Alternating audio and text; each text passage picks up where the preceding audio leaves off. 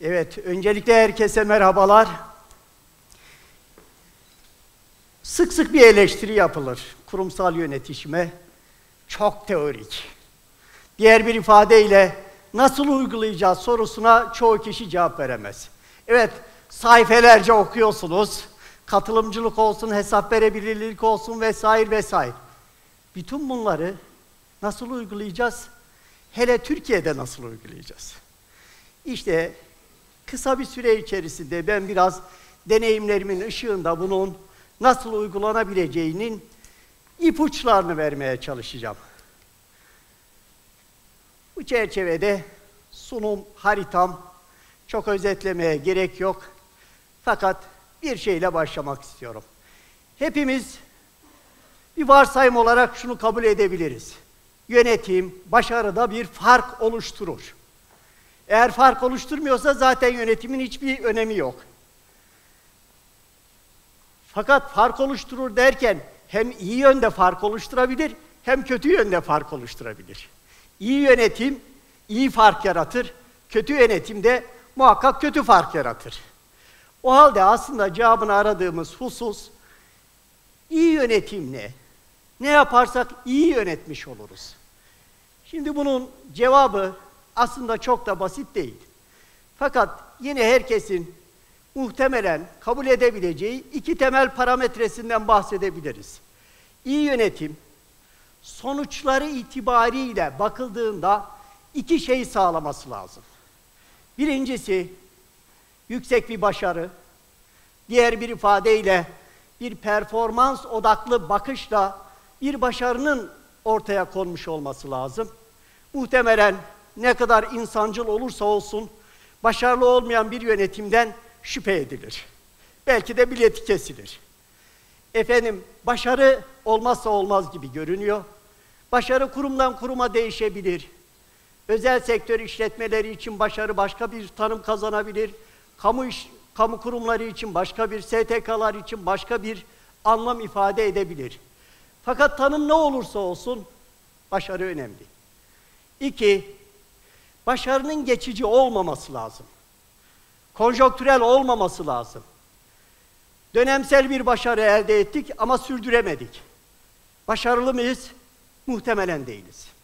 O zaman kurumsal anlamda düşündüğümüzde iki şeyi birlikte gerçekleştiren bir hususu, iyi yönetimi dile getirmeye çalışıyoruz. Evet, bir, üstün başarı, tanımı her neyse. İki, bu üstün başarının devamlılığı, sürdürülebilirliği. Bu çerçevede yönetişim bunu nasıl sağlayabilir? Yönetişim uygulamada ne anlama gelebilir? Öyle sanıyorum ki yönetişim deyince ilk aklımıza gelmesi gereken husus yönetim yetkinliğinin tabana yayılması. Genel olarak yönetimler merkezde tutuluyor. Genel olarak yönetimler kişiyi güçlendirme, kişinin kapasitesi üzerinde bir başarı beklentisine dönüşüyor. Fakat yapılan araştırmalar şunu gösteriyor. Kişi ne kadar başarılı olursa olsun kendisinin süresiyle ilgili bir başarıyla sınırlı bir durum söz konusu. Kurumsal bir başarıdan bahsedebilmek için kurumun kapasitesini geliştirmek, kurumu güçlendirmek gerekir. Kurumu güçlendirmenin en etkili yolu muhtemelen katılımcı bir yönetim ortaya koyabilmek. Araştırmalar da bunu açık şekilde destekliyor. Katılımcı olan kurumlarla katılımcı olmayanları karşılaştırdığımızda hem başarının üstünlüğü bakımından ama daha önemlisi de başarının devamlılığı bakımından bir fark yaratırlar. Dolayısıyla yönetim yetkinliğini aşağıya doğru hem görev ve sorumluluklarımızın delegasyonu ama bir o kadar önemli olan karar süreçlerinde bunları yenilikçi düşünmeye, fikir belirtmeye, aktif olmaya, uygun bir atmosferde yönetmeye davet etmek önemli bir fark oluşturur. Şüphesiz bu zor. Niçin? Çünkü memurluk kültürüne alışmış olan birçok kişi söz söyleyerek risk almak istemez. Söz konusu fikir, uygulama fikri arkasından istenmeyen bir sonucu doğurduğu zaman muhtemelen fatura kendisine çıkar, çıkarılacaktır. Benzeri nedenlerden dolayı insanlar sorumluluk almaktan kaçabilirler. Ancak bizim yönetim olarak sorumluluk almayı teşvik etme, yetki delegasyonu ile ortak aklı harekete geçirmemiz gerekir. Buradaki püf nokta şu. Ya bir kişi ya da yönetim elitinin akıl sınırları, yenilik sınırları, potansiyeliyle sınırlı bir iş yapıyor olacağız. Ya da bu sınırları çalışanların potansiyelini sürece dahil ederek, genişleterek yapıyor olacağız. İşte yetkinliği tabana yaymak meselesi tümüyle bu.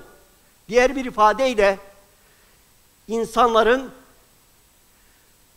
potansiyellerini karar süreçlerine, uygulama süreçlerine, değerlendirme süreçlerine aldığımız zaman muhtemelen bir ya da birkaç kişinin sınırından, yetkinliğinden, aklından ortaya çıkabilecek sonuçlardan çok daha yükseğini ortaya koyma gibi bir durum söz konusu olabilecek. Bu anlamda yönetim yetkinliği aslında bir kurumsal yetkinlik inşa etme sürecidir. Burada esas olan bireyi güçlendirmek değil, kurumu güçlendirmek. Hiç şüphem yok ki gelişmiş ülkelerde yüksek başarı oluşturan kurumlar esas itibariyle bireye endeksli değil, kurum kapasitesine endeksli bu başarıyı ortaya koyuyorlar. Kurum kapasitesine endeksli durum esas itibariyle iki anlama gelir. Ben bir kısmını bu konuşmada ele almayacağım. Bir, insanın yetkinliği, iki, sistemlerin varlığı. Sistem üzerinde çok durmayacağım. Bir başka belki buluşmada bunu ayrıntılandırabiliriz. Sistem bir kurumsal kapasite unsuru olarak efendim yöneticilere bir destek olarak yapılan faaliyetleri efendim harcanan zamanı, harcanan emeği yukarıya itmek gibi bir fonksiyon icra eder. Diğer bir ifadeyle farkı iki şey oluşturur. İnsan ve sistemler. Sistemler daha çok kurumu temsil eder ama insan eğer bir şahıs olarak anlaşılmaz da bir efendim kurumun değeri, sermayesi olarak anlaşılırsa söz konusu sermayenin daha aktif kullanımı anlamına gelir. Biraz açarsak kısaca şunu söylemeye çalışıyoruz.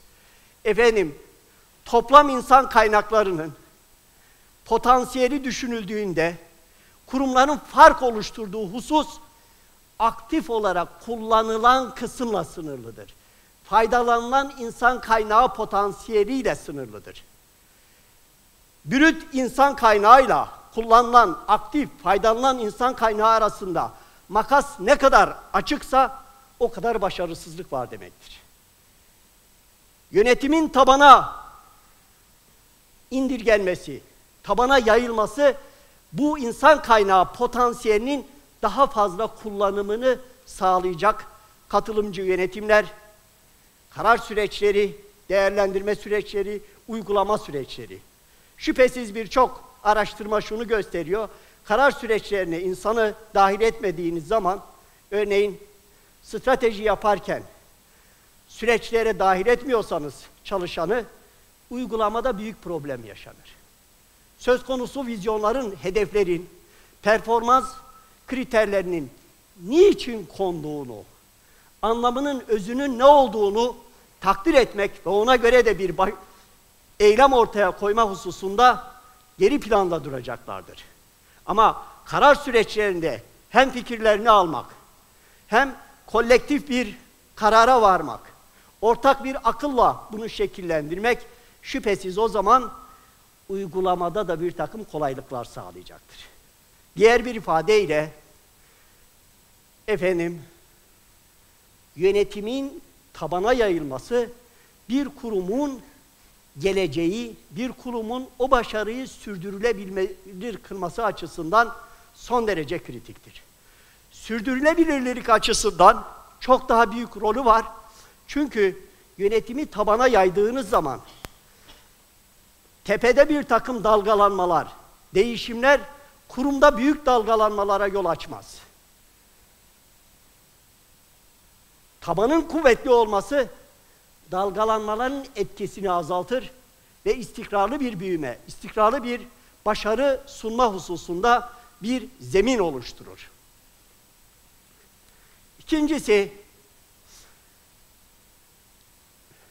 kamuda yönetişim çok sık ifade edildiği üzere aynı zamanda sadece tabana yetkinliği yaymakla değil, çerçeveyi de genişletmekle ilgili. Diğer bir ifadeyle bizler kurum yöneticileri ya da şirket yöneticileri, STK yöneticileri olarak bağımsız, diğer bir ifadeyle şartlardan bağımsız bir ortamda çalışmıyoruz. Söz konusu çevrenin eylemlerinden, kararlarından etkileniyoruz ve söz konusu çevreyi de etkiliyoruz. Dolayısıyla aslında bizim ürettiğimiz hizmet ya da ekonomi, bizim şirketin ya da kurumun hizmeti ya da ekonomisi değil, bir sistem ekonomisidir. Diğer bir ifadeyle kurumsal yönetişim muhakkak efendim kapalı kurumlar, şirketler değil, açık sistemleri, çevresiyle etkileşim içerisindeki sistemleri öngörür. Bu çerçevede esas itibariyle karar süreçlerini sadece tabana yaymakla değil, aynı zamanda çevreye yaymakla ilgili olarak bir karar süreci işletmeyi, uygulama süreci, değerlendirme ve dönüştürme sürecini tavsiye eder. Paydaşlarımız her kimse, özellikle birincil paydaşlarımız her kimse, bunlarla ortak bir zeminde bulaşmak, hem başarının artırılması hem sürekliliği açısından yine bir garanti rol oynar. Yeniden ifade etmek gerekirse, kamuda yönetişim benim konum. Kamuda yönetişimi şöyle bir düşünelim. Kamunun farklı kurumları aynı hizmeti üretmek için çabalıyorlar. Fakat aralarında işbirliği pek görülmez. Fikir birliği pek görülmez. Birlikte hareket ederek bir sinerji oluşturmak pek görülmez.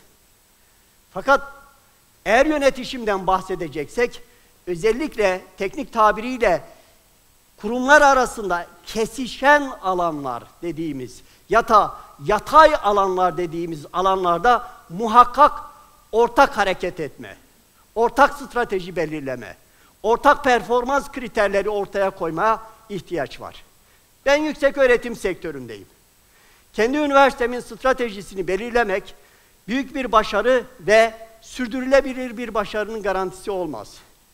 Fakat benim paydaşlarım olan öğrenciler ve aileleri, bakanlıklar ve üst kurullar, YÖK, efendim sivil toplum kuruluşları, bize tedarikçi durumunda olan teknoloji sağlayan çevreler, bize öğrenci gönderen çevreler, bizim yayınlarımızı değerlendiren çevrelerden bağımsız bizim bir strateji oluşturmamız ve bu stratejiyi de layıkıyla uygulamamız imkansız olacaktır.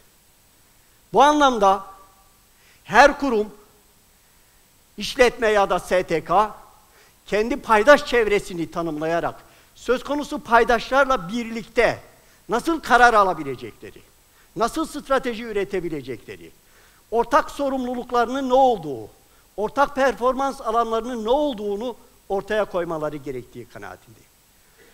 5018'in Türkiye'de yürürlüğe girmesiyle paydaş çalıştayları yapıyoruz.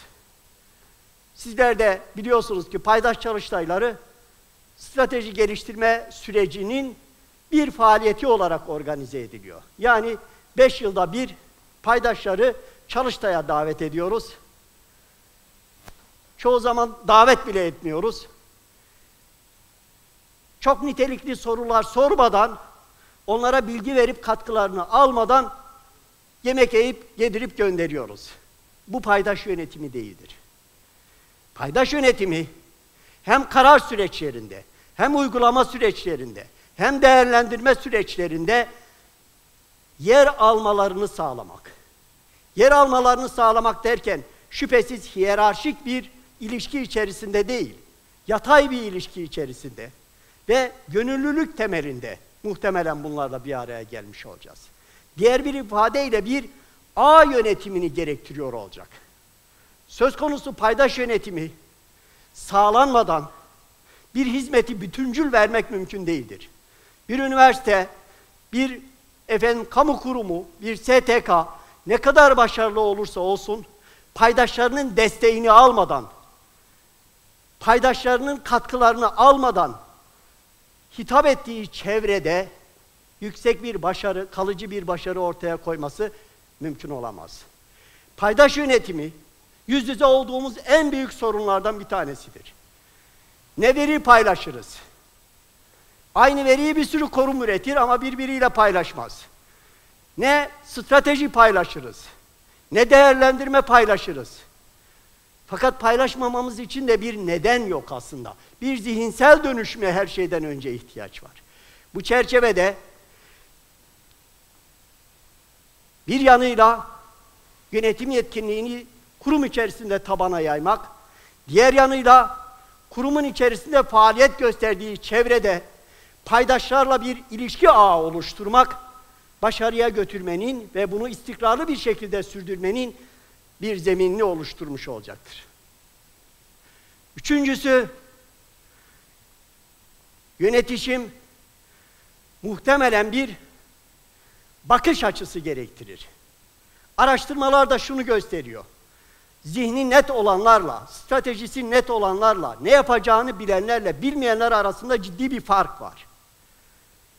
Bu fark da basit bir fark değil, stratejik bir fark. Ve söz konusu vizyon netliği, hedef netliği, fikir netliği aynı zamanda başarının da zeminini oluşturur. Bu çerçevede kurumlarımızın, işletmelerimizin, STK'larımızın göstermelik hedefler ya da vizyonlar değil, değişime ilham oluşturacak, değişime adres oluşturacak bir takım netliklere sahip olmaları lazım. Sizler de stratejilerin nasıl yapıldığını biliyorsunuz. Stratejiler, adı hedef olan, vizyon olan hususlar çoğu zaman retoriktir. Diğer bir ifadeyle yön gösteren, başarının tanımını içeren, onu ölçmeyi mümkün kılan, muhakkak bir değişim gerektiren şekilde değil de zaten yaptıklarımızın süslü cümlelerle ifadesi. Bunu kastetmiyoruz. Süslü cümleler olsa da hayat devam ediyor, olmasa da hayat devam ediyor. Ama acaba biz sunduğumuz hizmeti daha iyi nasıl sunabiliriz? Mevcut sunduğumuz üründe, hizmette muhakkak geliştirilmeye muhtaç, değiştirilmeye muhtaç hususlar vardır. Hiçbir hizmet, hiç, hiçbir ürün mükemmel değildir. O zaman bütün çaba esas itibariyle bir mükemmellik arayışıdır. Hiçbir strateji tanım, tamamlanmış değildir. Hiçbir proje tamamlanmış değildir. Bunlar ucu açık hususlardır. 50 yıl sonra da bu hizmeti vereceğiz, 100 yıl sonra da bu hizmeti vereceğiz. Bugün bizim için mükemmellik arayışı, kalite arayışı, strateji arayışı ucu açık bir şekilde devam edecektir. Bu çerçevede esasen kurumsal yönetişim bu zihinsel netliği, hizmeti daha kaliteli, daha etkin, daha verimli sunmanın yol ve yöntemlerini arama meselesi bitmeyen bir çaba olarak devam etmelidir. Bununla şunu kastetmiyorum. Beş yılda bir strateji yaparak bunu yapalım. Hayır. Üç dört ay çalışacağız. Stratejimizi tasarlayacağız. Ondan sonra koltuğumuza sırtımızı yaslayacağız. Beş yılın geçmesini bekleyeceğiz. Hayat böyle bir lükse sahip değil. Her gün, her hafta, her yıl acaba bu hizmeti daha iyi vermenin yolu nedir? Yöntemi nedir? Sistemi nedir? Usulü nedir? diye kendimize sorduğumuz zaman esasen zihinsel bir netliğe doğru hareket ederiz. Aksi takdirde stratejiler aldatıcı bir rol oynar. Niçin aldatıcı bir rol oynar?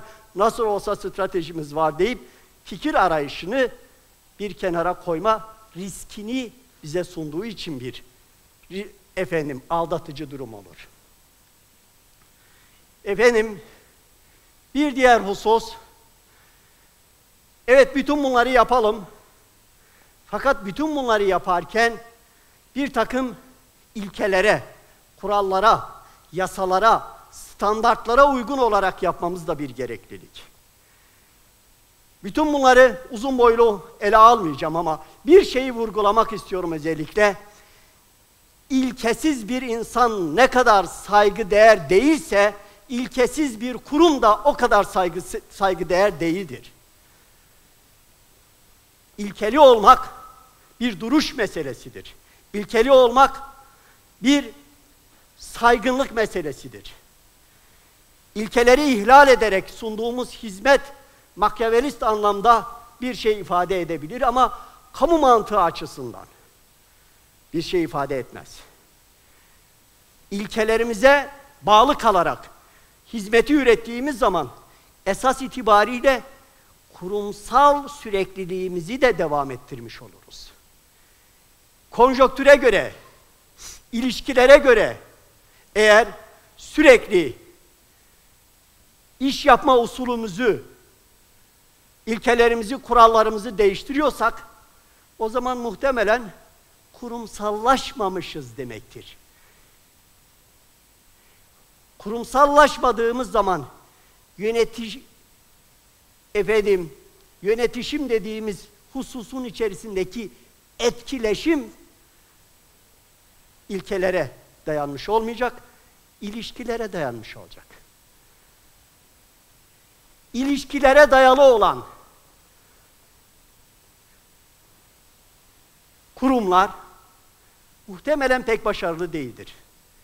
Dönemsel bir takım başarılar elde etmiş olabilirler ama üstün, rekabetçi, sürdürülebilir başarıya sahip oldukları ileri sürülemez. Diğer bir ifadeyle ilkelerimiz bizim kurumsal kimliğimizi oluşturur. O kurumsal kimliğimiz aslında yönetişim dediğimiz meselenin de özünü oluşturur. Bu neye yol açar? Söz konusu kurumun öngörülebilir, tahmin edilebilir bir geleceğini insanlar düşünür. Aksi takdirde öngörülemez, dalgalı bir kurumdan bahsetmemiz lazım. Eğer bir kurum öngörülemiyorsa, tahmin edilemiyorsa tehlikeli demektir. Yönetişim içerisinde paydaşların, çalışanların, efendim vatandaşların, müşterilerin öngörülebilirliği olması lazım. İşte bunu sağlayacak olan söz konusu ilkelerdir, standartlardır, kurallardır. Bunun daha daha üstünü verdiğimiz zaman onların beklentilerini yükseltiriz ama şaşırtmayız. Bir diğer husus, efendim bütün bunları yaptığımızı düşünelim. Yönetişim mantığı içerisinde bunların hesabını vermeye ve hesabını sormaya açık olmamız lazım. Eğer bir şeyin hesabını soramıyorsak yine tehlike var demektir. Hesabını sorabiliyorsak o zaman gelişime açık noktaları tespit edebiliyoruz demektir. Nelere müdahale edeceğimiz, neleri koruyacağımız, neleri değiştirebileceğimizi buradan çıkarabiliriz.